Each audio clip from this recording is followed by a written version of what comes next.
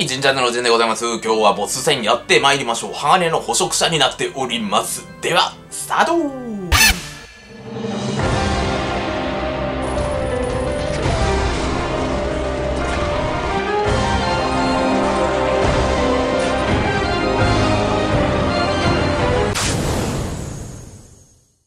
はい、本日、鋼の捕食者やっていきますが、今回のタイプは、支援型、魔法型タイプに対して追加ダメージ、そして人形を乱す効果、人形系の捕食者がやってきているということです。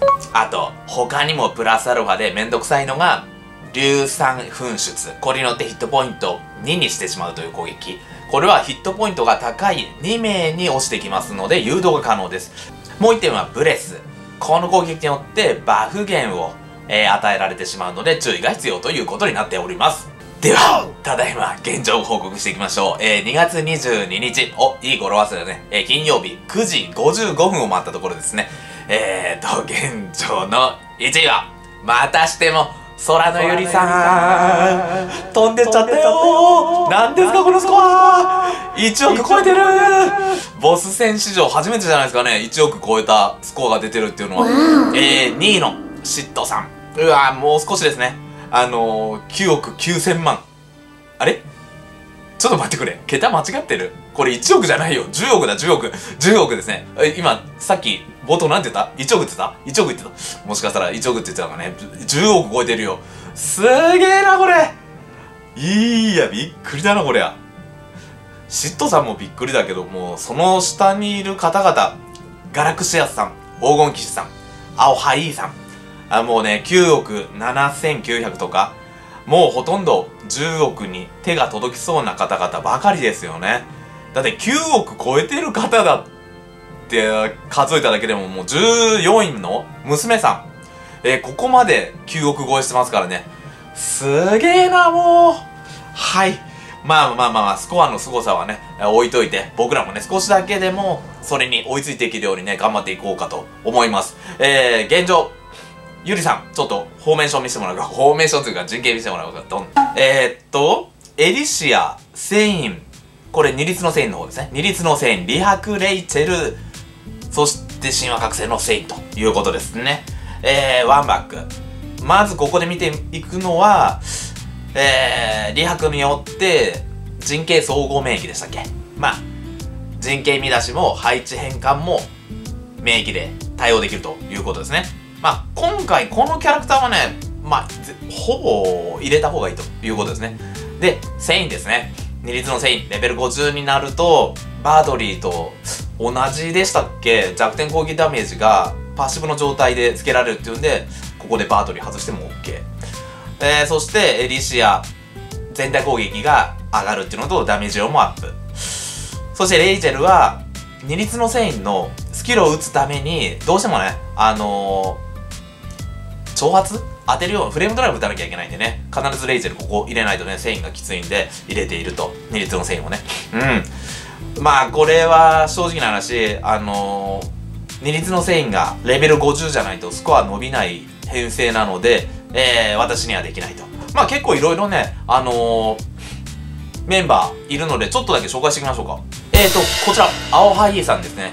ちょっとやってるかどうかわかんない。じゃあ、これはないだろう。これはないだろう。えー、っとね、ワンバックにデロンズ入れてますけど、これはないです。私実はね、検証しました。試してみましたんですけど、全然スコア出ませんでした。これは多分ね、ここまでのスコア出てないと思います。きっとね。はい。えー、結構編成が昨日まで色々あるかと思っていたんですけど、あのー、大方、皆さん、二律の線形で上位の方々は揃っていますので、探すのがね、難しくなっちゃいましたね。えっ、ー、と、他にあるとしたら、あると言ったら RR さん。えー、RR さんの編成見ていきますと、バートリーの代わりにセール入れてますね。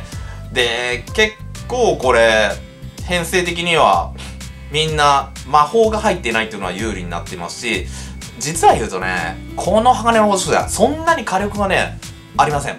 ボスに対して。なので、しっかりとした吸血と防具を揃えていれば、結構最後までね、あのー、しのぐことできますんでね、えー、この辺ちょっと注目して、清流を入れた編成っていうのもありなのかもしれませんね。はい。はい、では、多分一番多い編成ですが、私、ベターなちょっと編成でいきたいと思います。こちらになります。えー、リシア、リハク、バートリー、リョフ、そして、神話の編成でございます。れがね、バートリー50を持っている方としたら、一番スコア的には伸びる編成かななんて思います。自分もレベル48にした二律の繊維を昨日手に入れたんですけど、ちょっと編成してやってみたんですけど、やっぱりね、50になってないとね、うーん、スコアの伸びはこちらには勝てないっすね。うん。なので、私の場合、こちらでやらせていただきたいと思います。えー、一つ、今回、テーマがあります。えー、と、まず、神話の繊維ちょっと見ていきましょうか、ドロンと。えー、皆さん、神話の繊維なんですけど、装備どうなされてます？えー、まず基本的にいつも皆さん PVE である時には PVE の弱点攻撃率強い強いのつけますよね。PVE5% 5%弱点ダメージ 8%8% みたいにつけますよね。でもちろんもう一本の方も OK、えー、PVE の 5%5% 5%で今回ちょっとね弱点とクリティカルでね振り分けてみようかなと思ってクリダメ8%にここ切り替えました。本当は弱点がついてましたけどこっちクリティカルダメージしました。このオーケもねいずれ弱点攻撃率26%のものが出たらまあ弱弱で作っといて2本ちょっと持ち合わせてみようかなということもあるんでね今回ちょっとクリティカルに切り替えました。でちょっとね上位陣のね方々の武器編成を見ていきますとすごいね不思議な点があったんですよ僕には。この弱点ではなくてねなんと臨床装備をねつけてる方が結構多かったんですよいや、ほぼほぼつけてるんですよね、皆さん、敏捷。で、敏捷、えー、PV の方を作らせていただきました。こちらをね、ちょっと装備して、今回はやっていきますが、その前に、なぜこれがいいのかっていうのを、ちょっとね、あの、検証してみたいと思います。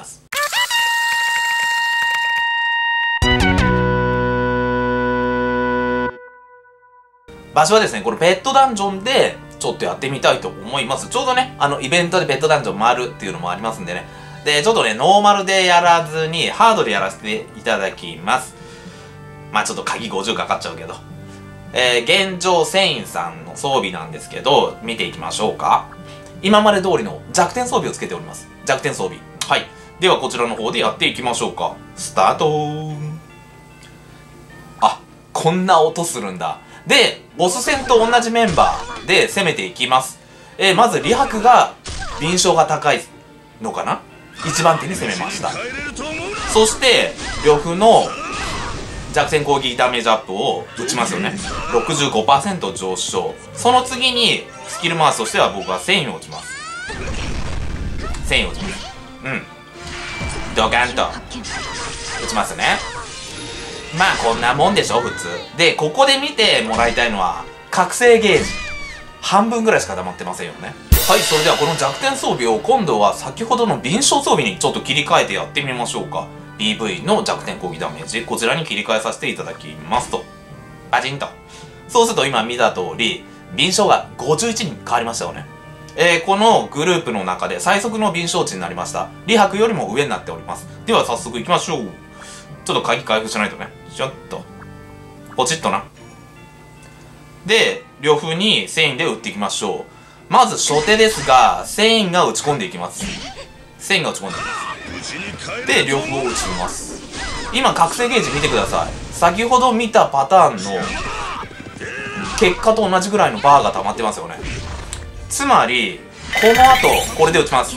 ピコーンなんともうすでに2手目で神話覚醒になることができます。神話覚醒って言ったらいいの？覚醒を使うことができる。ってことはボス戦でいいのはやっぱり早い段階でこの繊維を覚醒するっていうのは重要です。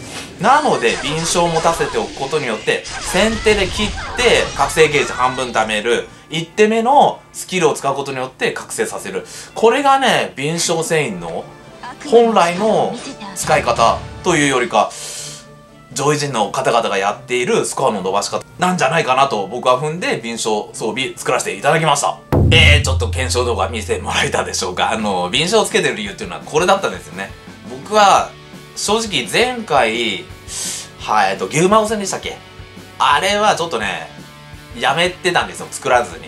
なんでかわからなかった。ただ追加ダメージが出すがために敏捷を上げてたのかなって本来思ってたんですけどねで今回あんまりね反撃しない方がいいのかなと思ってまあ反撃率1個はつけましたけど片側に1ポイントでちょっと戦ってみようかと思います。えー、宝石の方はオーケと4から5人のスキルダメージ上昇とクリティカルダメージの上昇というものをつけております。えー、こちらで少しでもスコア伸ばせていけたらいいなと思っております。昨日ちょっと駆け込み寺でやったんですけど6億には届きませんでした。最低限このスコアを超えてえー、行きたいなと思っております。えー、では、スタートしましょう。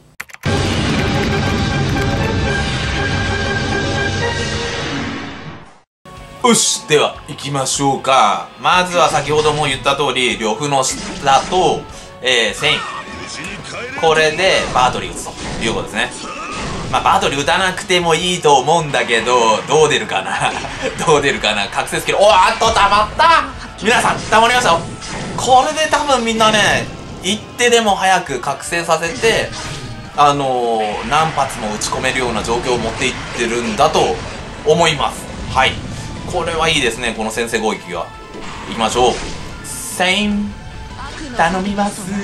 覚醒してくれ。すごいな。1分以内に覚醒だよこれで。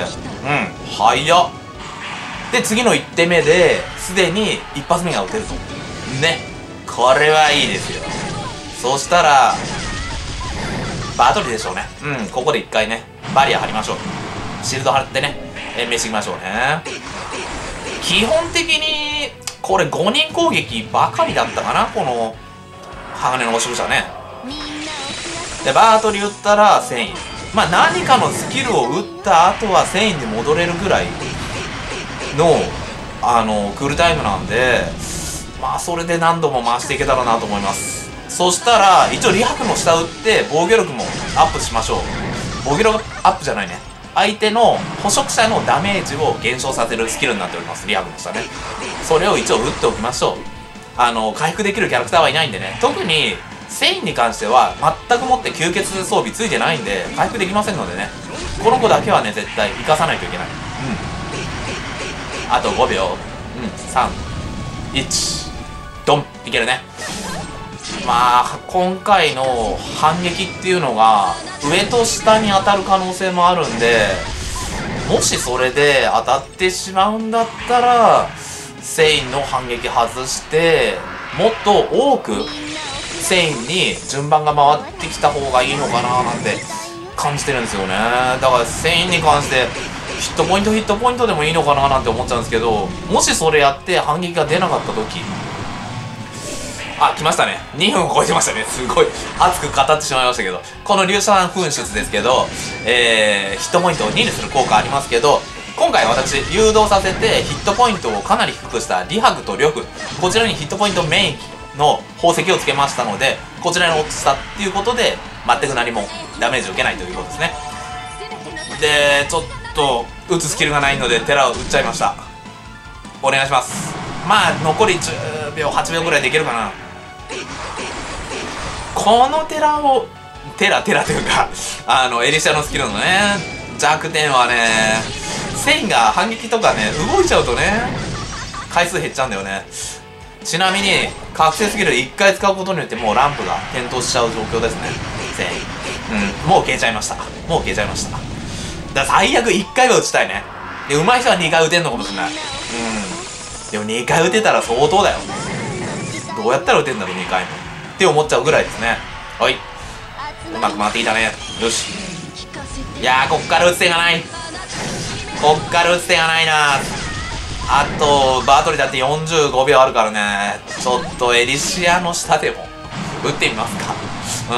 うん。ダメージ入るわけじゃないけどモーションもそんなに長くはないと思うから。どうだろうな。長いかなこれモーション。うん。残り9秒ですね。それでも回りきらず。うん。いいね。ポチと。やっぱこういうことあるからな。反撃繊維ちょっとだけでも上げとくっていうのもね大事なのかねもしかしたらね。うん。あーあと1分ですね。残り1分。残り1分。えー、っとスコア更新できんのかなこれ。大丈夫かな？あと2回は打ちたい。2回は打ちたい。2回は打ちたい。うん。あーバートリーの下でも結構スコア伸びてんのかな？ちなみにバートリーはね PV 要素に全くしません。全くしてないです。これバートリー PV 系に変えた方が火力出んのかな？ちょっとスコア伸びんのかな？